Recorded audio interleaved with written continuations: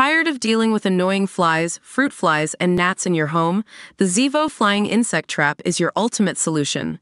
Don't wait. Check out the link in the video description now to get your Zevo Flying Insect Trap on Amazon and enjoy a bug-free home today. Banks closed 539 local branches across the country in the first half of the year, leaving more and more Americans without access to basic financial services.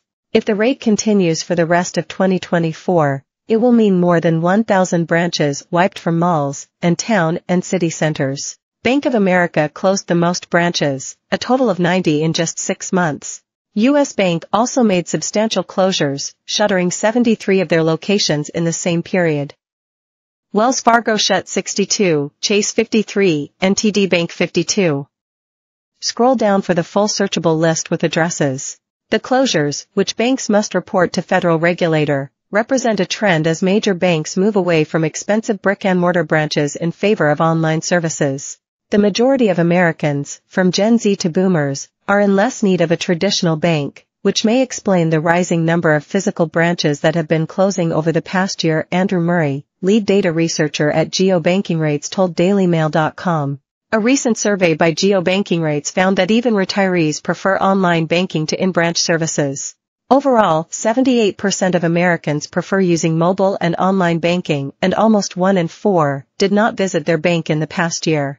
Our survey of more than 1,000 adults clearly shows that demand for in-person banking is low across all generations, even boomers 65 and older, Murray explained. It's likely that overhead costs, rent, maintenance, supplies, and staff salaries are a large factor especially given that our survey shows how infrequently people visit brick and mortar banks. Indeed, closures can lead to significant savings since the average freestanding bank branch costs around $2.6 million a year to run. Banks must report all planned closures and openings to the Office of the Comptroller of the Currency, OCC, a federal banking regulator. Each week, it publishes a summary of these. DailyMail.com analyzed these to compile the details of total closures so far this year. The worst hit state was California, which saw 72 closures from national banks in the first half of the year. New York followed in second, seeing 51 closures, followed by Pennsylvania, which had 40. Over the last several years, we have right-sized our branch network, and we may continue to combine two older existing branches into one better situated location Wells Fargo told DailyMail.com in a statement. Doing so does not take away the importance of our customers and the communities we serve. Bank of America also said they tend to consolidate two branches into one when there is a close.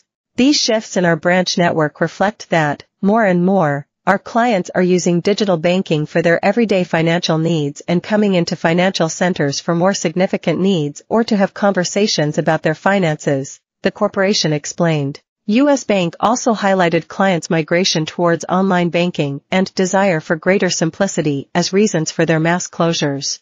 As we evolve along with our clients, we are re-evaluating our physical footprint, and in some instances, consolidating branch locations in select markets, the bank said in a statement.